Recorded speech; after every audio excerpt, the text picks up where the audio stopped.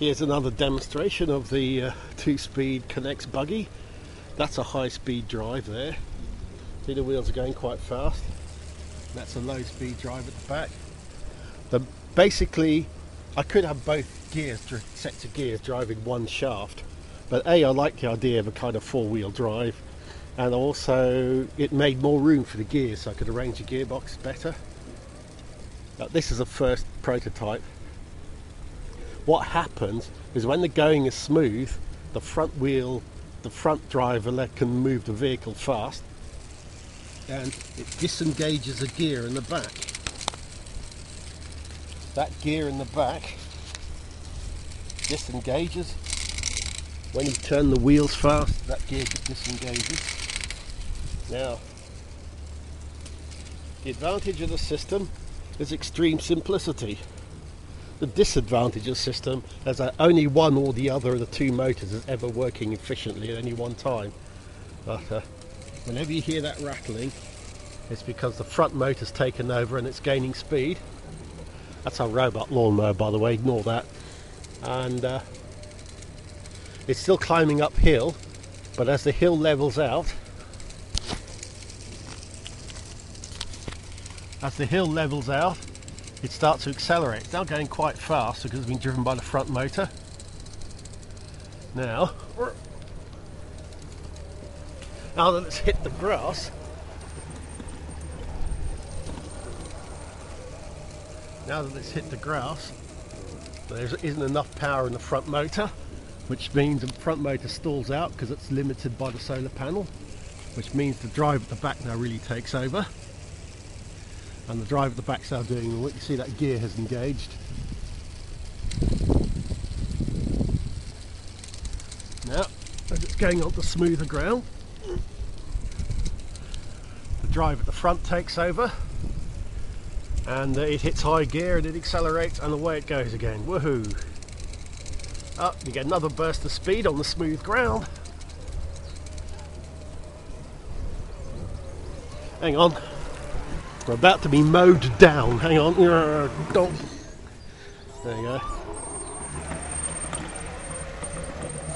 There, as it's gone onto the uh, difficult ground, the because the power of the front motor is limited by the solar panel, it just slows down and stalls out. You know, it, it just holds it back. And uh, because the motor there is stalling, this one engages, and because of the much lower gearing, it has much more power. Oh. Ignore that black lump, that's just a switch. The, uh, it's of no consequence. That could be just a standard Knex lead. And you see the the front motor is all but stalling because it's for high gearing. Oh, and uh, oh, bonk. Our lawnmower's come back again. And the uh, that's a super capacitor, but it's not in circuit just now. That's for other experiments. I'll, I'll tell you more about that later. And uh, but there you go. It's gone into low gear again. So it works very well, I think. Just to make the point. Put it back on smooth ground. Suddenly it really goes. Really bombing along. That cog is just disengaging. But as soon as it hits the rough stuff, oh no, a lawnmower again. Um, as soon as it hits the rough stuff, the uh, that cog engages and gives it plenty of climbing power. And it's still getting some assistance from the front motor, but obviously torque is limited because of the much taller gearing. So uh, there you have it one fully automatic two-speed Knex gearbox. And uh, well chuffed with that. I think it works a treat. Um, yeah I'll, that's a first pass obviously. And I'll zoom in on it. That's a first pass. And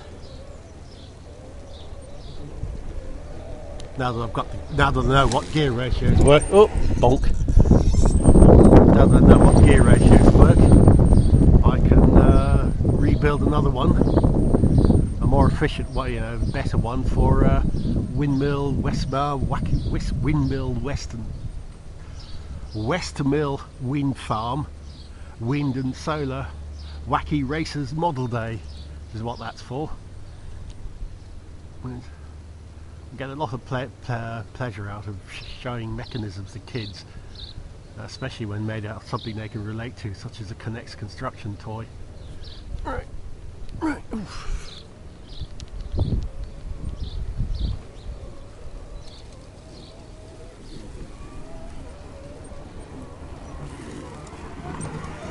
Alright.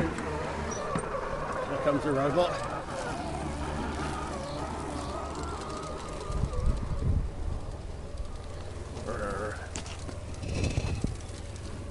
Speed.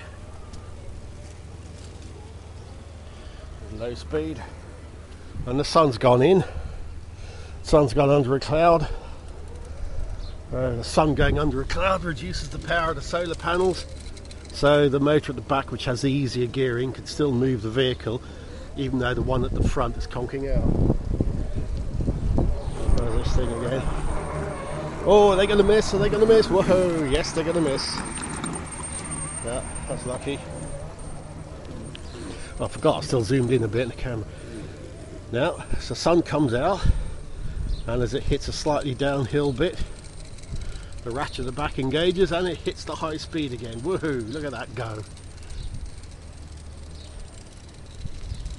That's really bombing along. Now,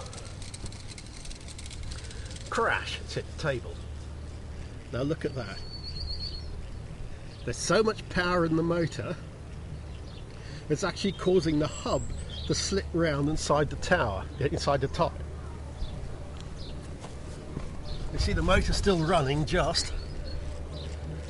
So you've got wheel spinning power in low gear and the efficient running in high gear. So uh, I'd call that a success, I would. There we're going uphill again, so uh, oh no, it's getting enough, finding enough power to climb the hill just in high gear. No, it's gone into low gear again because it's a hill and the sun's gone in a bit. So that front motor stalling out. Let's see if I can put the camera inside the vehicle.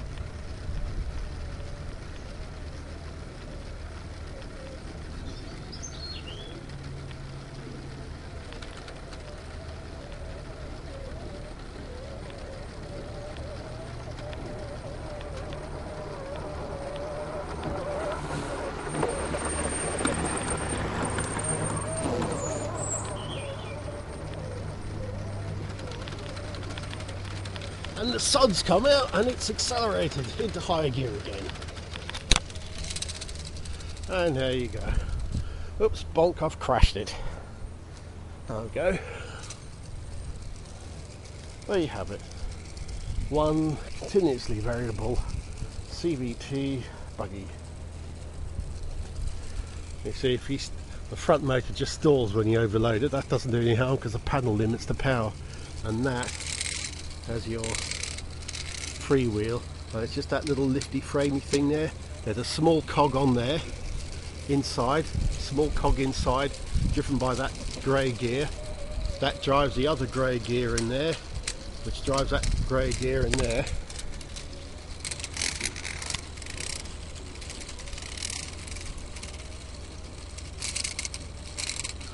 Which uh, actually got a slight problem, I'll fix that. So it uh, lifts that cog out whenever it wants to run fast.